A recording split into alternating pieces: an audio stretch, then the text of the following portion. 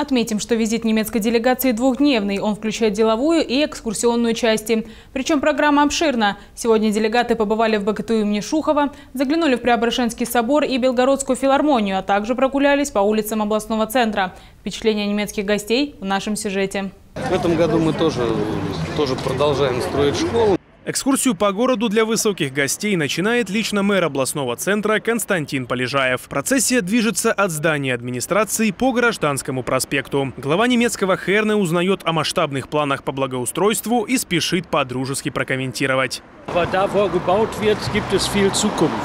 Там, где идет стройка, есть будущее.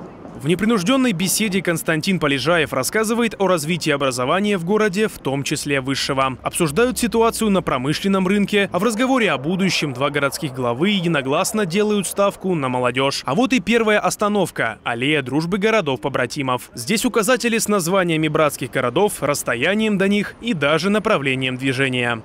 Вот если вы обратите внимание, до Херна не так уж и далеко, 2379 километров. Da sehen Sie, bis nach Herne ist es nicht so weit, 2379 Kilometer. Fahren wir zurück mit dem Fahrrad. А можно поехать назад на велосипеде? Безусловно, велосипед мы дадим.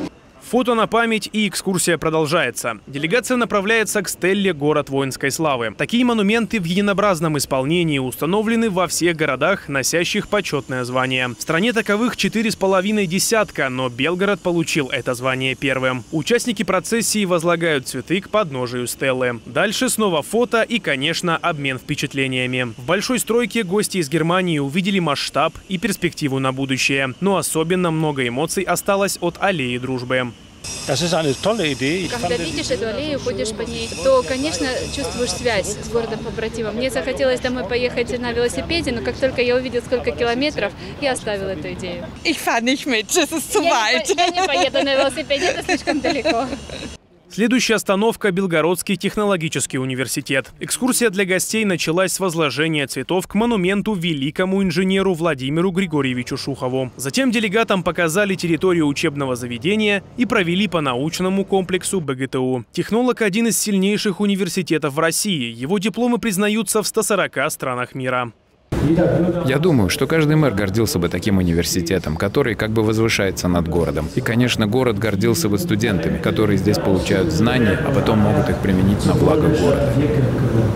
Программе посещений оказался и Преображенский собор. Наша земля славится своими православными традициями. Священник Николай Ткач рассказал гостям о белгородских святых, основах православной веры и древних иконах, хранящихся под сводами храма. На память о визите делегации вручили образ святителя Иосафа Белгородского.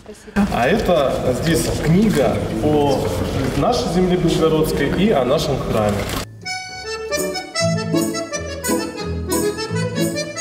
Колоритное русское искусство также не могло остаться без внимания иностранцев. Следующим пунктом визита стала Белгородская филармония. В большом зале гостей ждал приятный сюрприз – выступление коллектива народных инструментов. Самобытное звучание русских мотивов было оценено по достоинству.